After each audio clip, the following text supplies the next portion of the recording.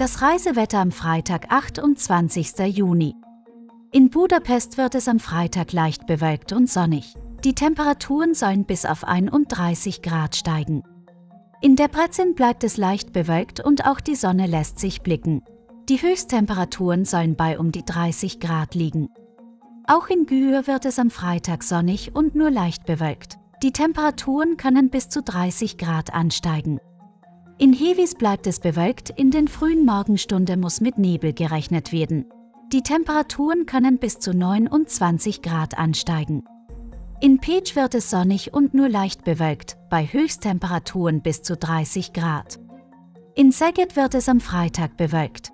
Die Sonne lässt sich ab und zu blicken und am frühen Nachmittag kann es zu Regen kommen. Die Temperaturen sollen auf 30 Grad steigen. In Mischkolz wird es bewölkt. Ab dem frühen Nachmittag kann es immer wieder zu Schauen kommen, bei Höchsttemperaturen bis zu 28 Grad.